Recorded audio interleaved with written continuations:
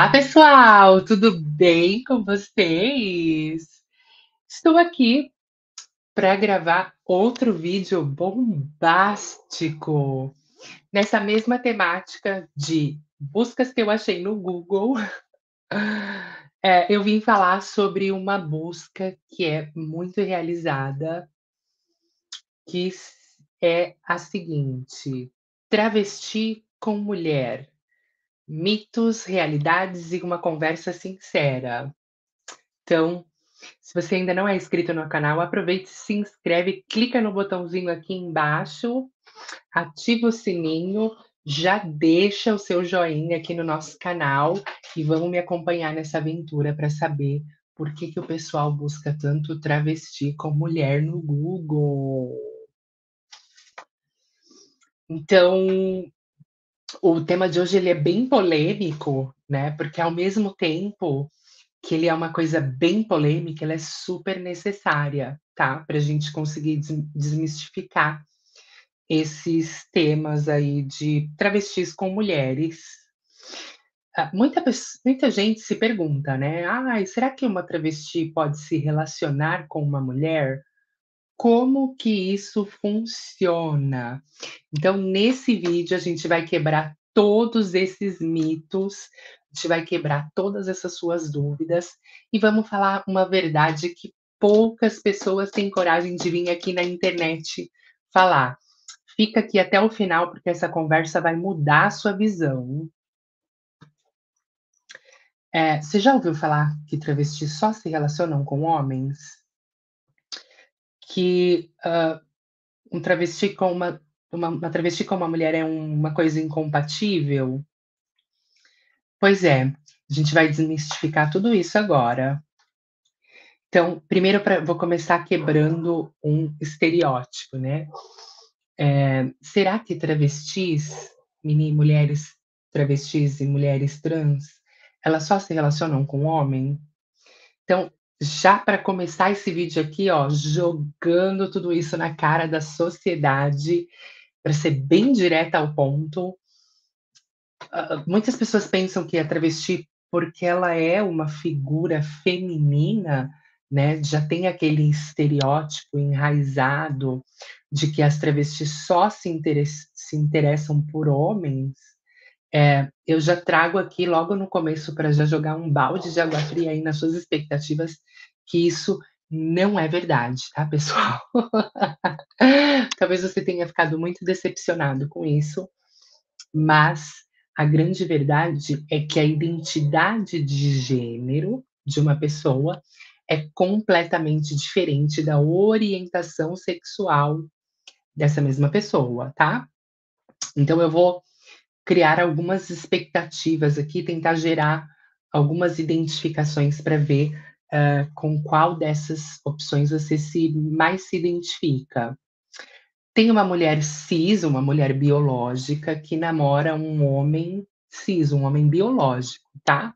E eles dois podem ser héteros. Então, o homem, que nasceu homem e se identifica como homem, gosta de uma mulher que nasceu mulher e se identifica como mulher tá? Só que também tem homem que nasceu homem, se identifica com o sexo masculino, e ele gosta de homens e de mulheres. Para esses casos, a gente normalmente usa a sigla, a letrinha ali do, do nosso alfabeto, a letrinha B, que são os bissexuais, tá? Existem também homens que nasceram homens e que gostam de outros homens. Esses são os gays, a letrinha G ali do nosso do nosso abecedário. E as travestis, que são pessoas que nasceram com um sexo, ao decorrer ali, ao ao, ao passar dos anos, se identificaram com o sexo feminino, tá? E aí, essas pessoas, elas podem gostar de pessoas de qualquer gênero, tá? Então, elas, em muitos casos, elas podem se apaixonar por uma mulher e viver um relacionamento com uma mulher biológica, tá? Existe uh, travestis e mulheres transexuais que são lésbicas, tá? Inclusive, esse é um ponto bem legal para a gente trazer aqui nessa reflexão. É, muito se fala na internet, e eu vou trazer um vídeo sobre isso, tá? Para a gente discutir isso aqui também no canal. Aproveita, se você não é inscrito, já clica aqui embaixo no botão de se inscrever. Não esquece de dar aquele like bem gostoso no vídeo, para que mais pessoas também consigam ver esse mesmo conteúdo que você está assistindo. E, voltando aqui no tema do assunto, né? É, a gente vai falar sobre, sobre essa temática da, da exclusão das travestis e da solidão que é a vida de uma mulher trans, de uma mulher travesti. Então, o que acontece?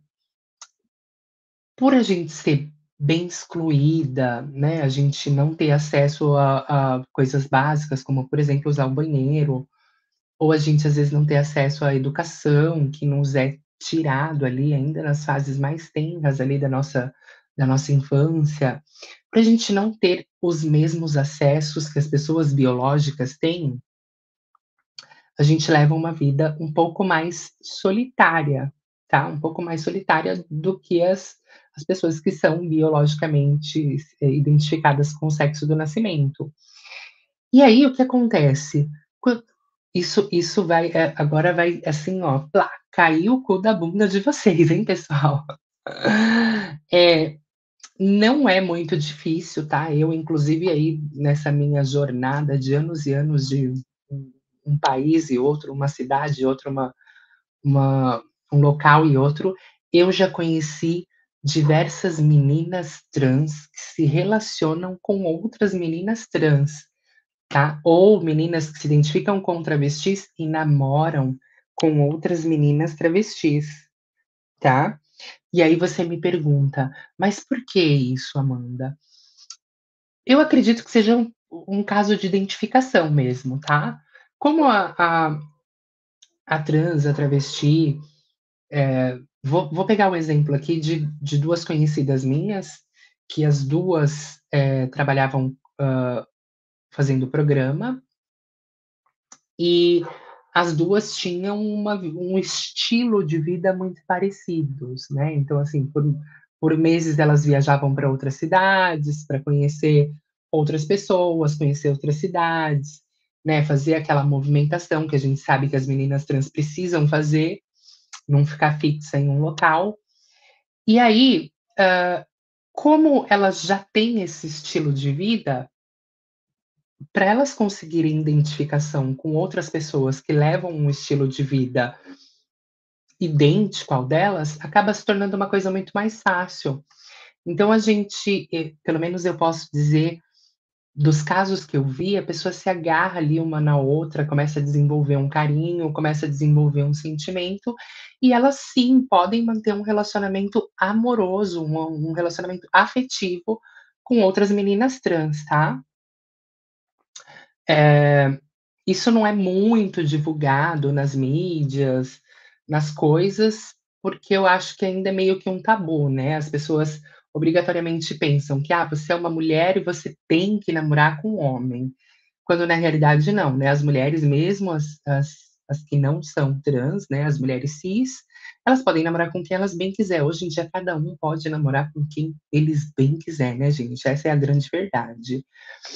Uh, o importante é a gente entender que esses relacionamentos são, qual, são como qualquer outro. Eles são baseados em carinho, afeto, atração e principalmente no respeito, que é ali um dos, dos mandamentos básicos de qualquer relacionamento, né? Para você se relacionar com uma pessoa, ela tem que, no mínimo, te respeitar, né, galera? Então, assim, eu acho que não há nada de anormal nisso. O amor é o amor, gente. É, e desde que você seja correspondida, né, eu acho que está tudo valendo. Eu mesma conheço histórias de travestis que estão casadas com mulheres. Esse cenário não é difícil você ver aí no Brasil. Aqui na Europa, onde eu estou vivendo agora, eu comecei a frequentar um grupo. Aproveita se você quiser ver uh, as aventuras que a gente faz com esse, com esse grupo hã, LGBT lá da Casa de Cear, eu vou deixar um vink um link passando aqui agora no no card, pra você ver que a gente vai toda to uma vez por mês, né, hã, todos os meses, a gente vai conhecer algum pueblinho, alguma cidadezinha aqui próxima de de Valência, na Espanha.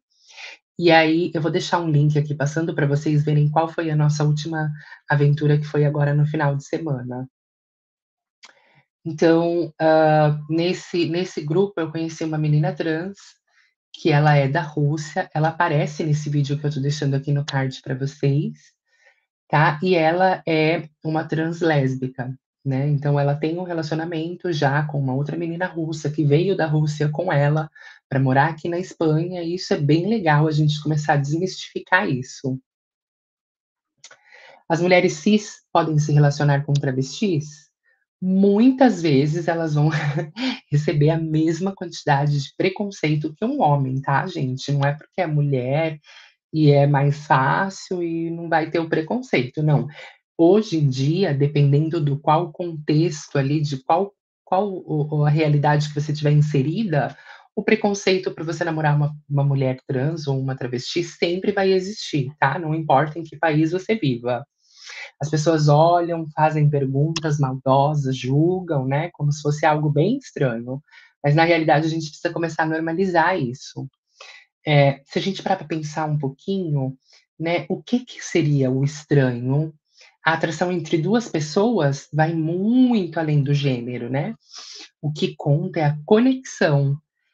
Eh, as pessoas normalmente, eh, fetichizam as travestis, eh, saem com elas porque: "Ah, é uma mulher que tem um um pipi ali", e tal, mas nenhuma mulher ou nenhum homem, né, conhece a outra pessoa, quando a gente tá falando de de relacionamento, ninguém conhece a outra pessoa pelo órgão, né. Hã, as pessoas normalmente, pelo menos eu espero que esteja sendo assim, né, ninguém vai lá na casa do fulano pra conhecer qual o tamanho do produto dele, ou como que é o produto, se é torto pra direita, se é torto pra esquerda, se é pra baixo, se é pra cima, se é para o lado. E o mesmo acontece com a mulher, né, porque ninguém fala: "Ai, eu vou na sua casa porque a sua perseguidinha é assim ou assado, ou tem um pelinho aqui, tem um ali, tem um beicinho assim", não. As pessoas não se interessam, hã, pelo órgão das outras, né. O processo natural, quando a gente conhece uma pessoa, é primeiro começar a admirar, ver as qualidades daquela pessoa, e aí depois vai rolando, né, um carinho, a vontade de dar um beijo, se o beijo rolou a química, todo mundo já sabe onde termina isso, né. Então assim, o mesmo acontece com travestis e meninas trans, tá, pessoal. Então assim, se você conhece ou já viu uma travesti com uma mulher cis, e ficou curioso, é só você parar pra pensar: "Será que você não tá preso num preconceito que não faz sentido?". Vamos normalizar esses relacionamentos, porque o amor é plural e vai além de qualquer rótulo. Tudo bem?